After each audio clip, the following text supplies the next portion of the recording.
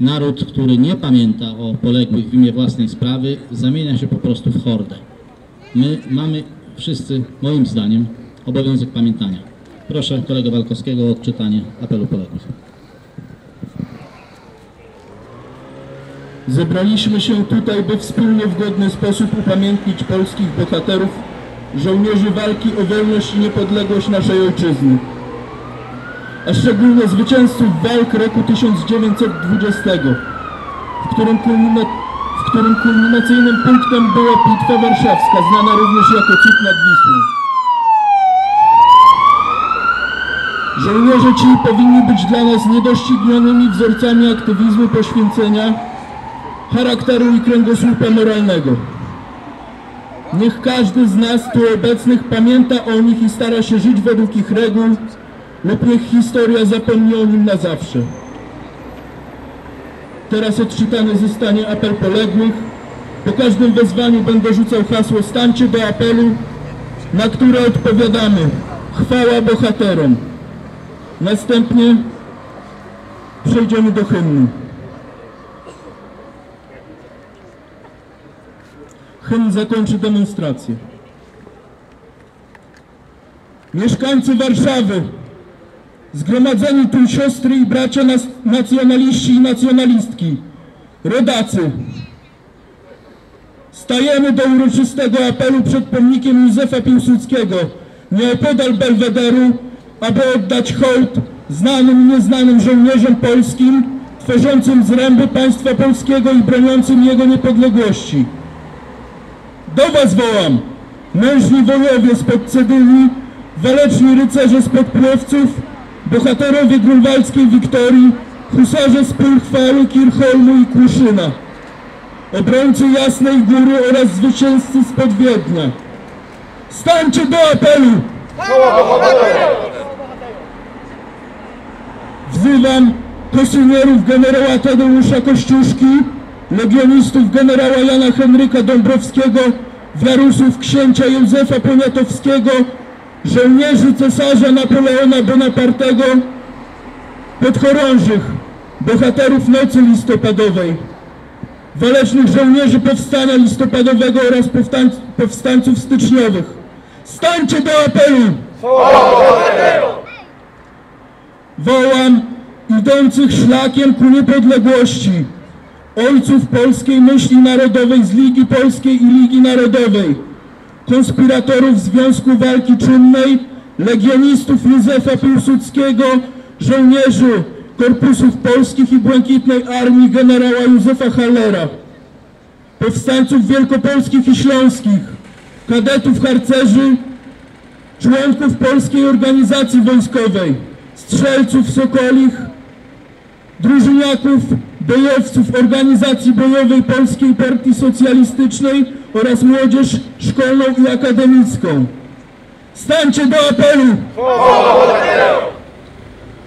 Wołam komendanta pierwszej Brygady Legionów Polskich, pierwszego marszałka Polski, naczelnego wodza i naczelnika państwa, Józefa Piłsudskiego, którym całym swym życiem dał niewyczerpany przykład walki, pracy i poświęcenia dla Polski i Polaków.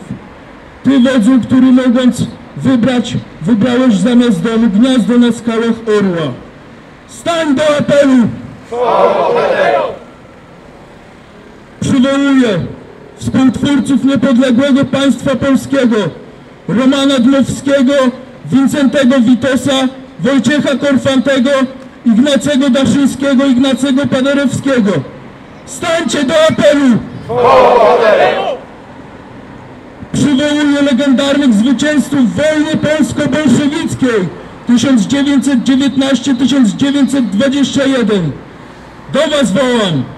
Dzielni żołnierze przynoszący chwałę naszemu orężu, walcząc na polach mostów nad Niemnem, Wilna, Mińska, Bobrujska, Borysowa, Połocka, Dynenburga, Kijowa, Lwowa, Radzymina, Komarowa, Halicza, Grodna Lidy, Mołodeczna i Warszawy. Wzywam marszałka Józefa Piłsudskiego, marszałka Edwarda Śmigłego-Rydza, generała Tadeusza Rozwadowskiego, generała Józefa Hallera, generała Leonarda Skielskiego, generała Władysława Sikorskiego, generała Zygmunta Zielińskiego, generała Wacława Iwaszkiewicza, generała Jana Romera, generała Lucjana Żeligowskiego, generała Kazimierza Sosnkowskiego, pułkownika Franciszka Latnika i wszystkich tych, którzy pod ich komendą doprowadzili do uratowania Polski oraz Europy przed czerwoną zarazą. Do Was mówię, bohaterscy harcerze spod zadwórza, polskich Termopil oraz do Ciebie, kapitanie Bole- Bolesławie Zajączkowski, polski Leonidasie. Stańcie do apelu! Wzywam ułanów i szwoleżerów, dawnych husarzy synów, niepokonanych obrońców granic najjaśniejszej. Do Was mówię, zwycięzcy spod Komarowa, Koziatyna, Kowla, Rokitny, Krechowiec, Zasławia i Jazłowca. Ojczyzny nie zapomniała wasza, ojczyzna nie zapomniała Waszego poświęcenia. Gdy szablą i lancą wykuwaliście niepodległość. Stańcie do apelu! Wzywam obrońców ojczyzny w 1939 roku. Żołnierzy majora Hubala, żołnierzy polskich sił zbrojnych na zachodzie, Armii Wojska Polskiego Podziemnego Państwa Polskiego, walecznych powstańców warszawskich oraz bohaterów powojennego podziemia niepodległościowego. Stańcie do apelu!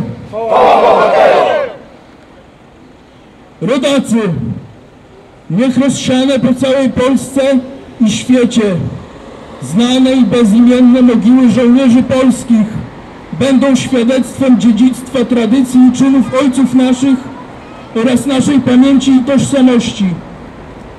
Niech z mogił żołnierzy naszych poległych na polach całego świata powstanie Wielka Polska. Chwała bohaterom! Chwała bohaterom!